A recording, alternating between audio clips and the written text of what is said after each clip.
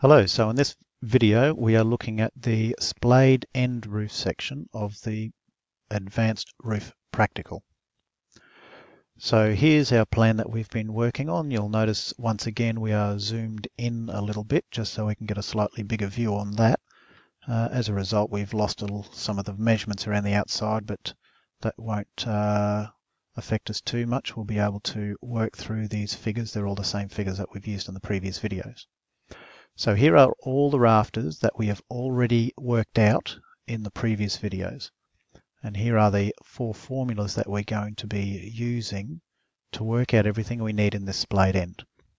So the first thing we're going to do is look at this rafter here and what I want you to do is to pause the video and decide what sort of rafter that is. What is that rafter called?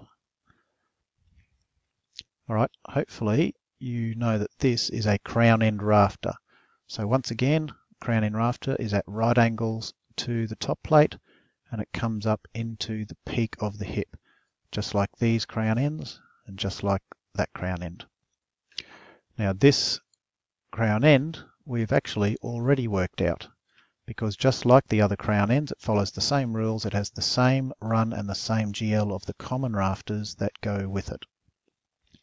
So we can skip off that. We're now going to have a look at the two hip rafters.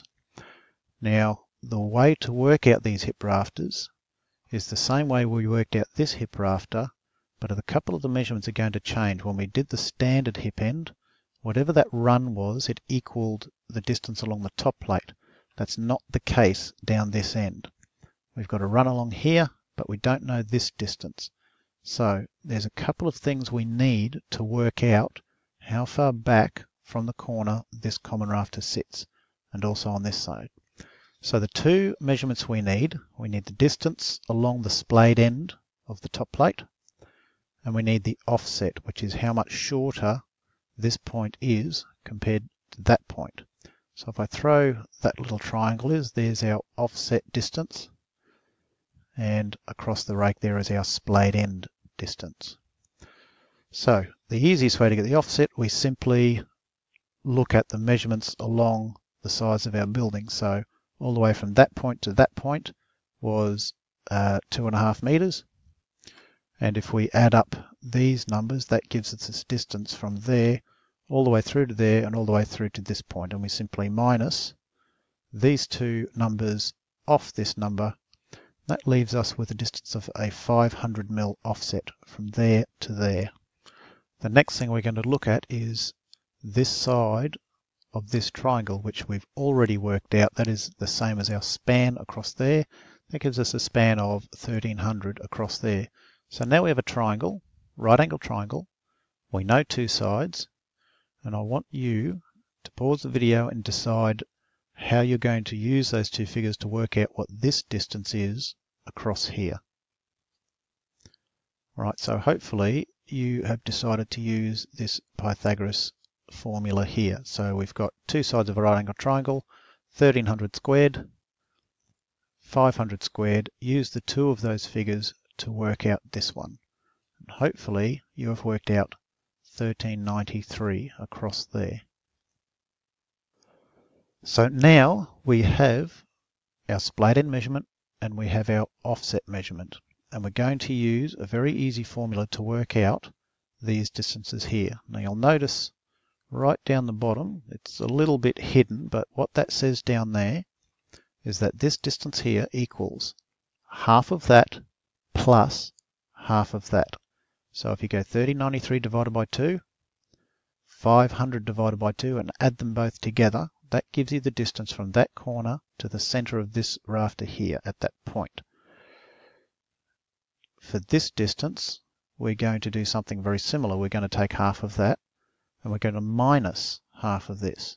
So half the splayed end minus half the offset equals this distance along here and half the uh, splayed end plus half the offset equals this distance here.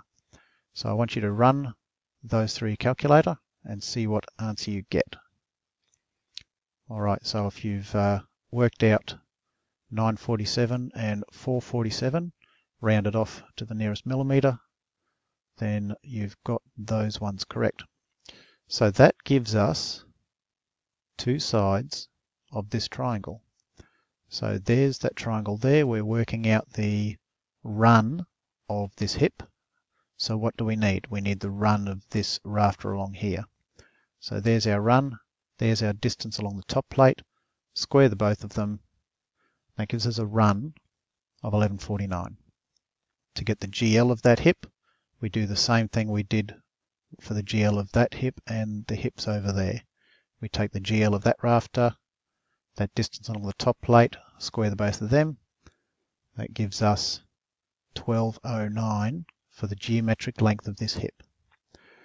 When we come and look at this hip, the whole process is exactly the same using this figure here. So we flick on over. I will get you to pause the video and run those figures through and make sure you end up with these two as your run and your geometric length.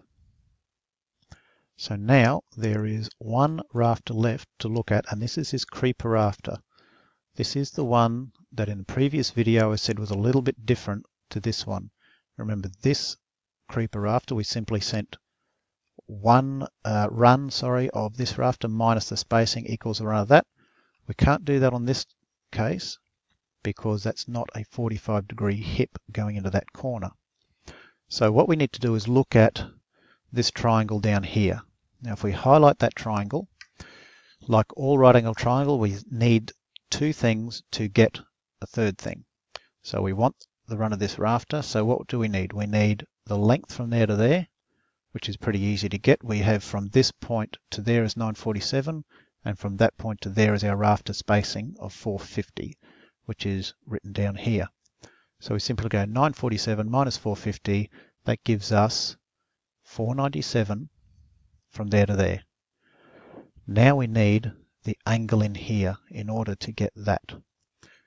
Now we don't have enough information in this triangle to get that angle, but we do have enough information in that triangle, which is the same angle. We have this distance across here. There's the 650. I've just thrown a, uh, a blue rafter in there for the sake of uh, putting a rafter in. So the run of that is 650. Now we need to use a formula to use 650 and 947 to work out what that angle is in there. And what I'd like you to do is pause the video and see if you can remember which formula to use, run the figures through and see what angle you get. Right, so hopefully you came down to this one here. Now you'll notice uh, you should remember from the previous video that it kind of looks like this formula in reverse. We need to find the pitch, so we're going to go rise divided by run inverse tangent. Now you notice this triangle sits on the flat. It's not a vertical triangle, which means technically this is not a rise and that's not a run. But because the information we have is the same as the information in a vertical triangle. We've got the two sides either side of the right angle triangle. We can still use this formula. So for the sake of uh, this calculation, we're going to go 650 divided by 947, which is the equivalent of our rise divided by run. Press the equal sign, and then on your calculator it'll be inverse tangent or shift tangent or possibly second function tangent and if you've done it correctly, you will come up with a angle of 34 and a half degrees, just rounded off to the nearest half a degree in here. Now we can flick back to this triangle in here. We've already worked out our 497.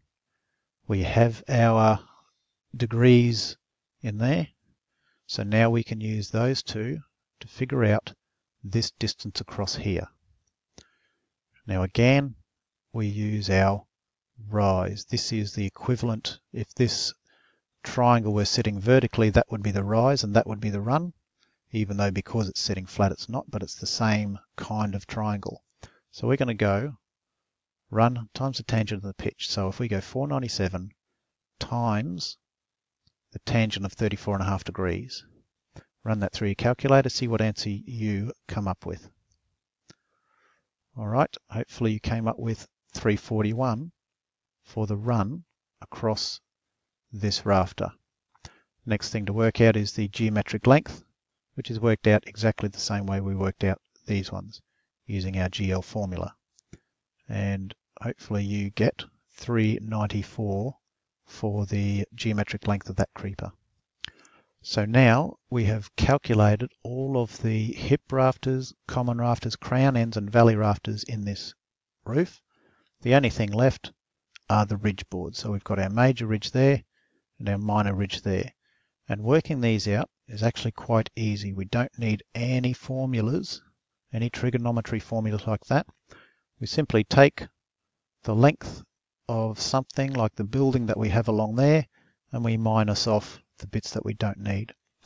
So there's a measurement down here. You can't see it because we zoomed in a little bit too far, but there's a measurement of two meters from that corner all the way to this corner. So all we have to do is minus off that little bit, which we worked out previously, and minus this little bit, which we also worked out previously. So that is equivalent to the run of that crown end rafter. So 2 meters minus that distance minus that distance leaves us with the ridge measurement along here. And we do the same around the corner. This distance from that corner all the way down to here is two and a half meters. We just minus off that distance, which is a run of that, and we minus off this distance, which we've already worked out there, leaves us with the length of that minor ridge. So thank you for watching. The next video will look at the angles, meaning the seat cuts, the plumb cuts, and the edge angles.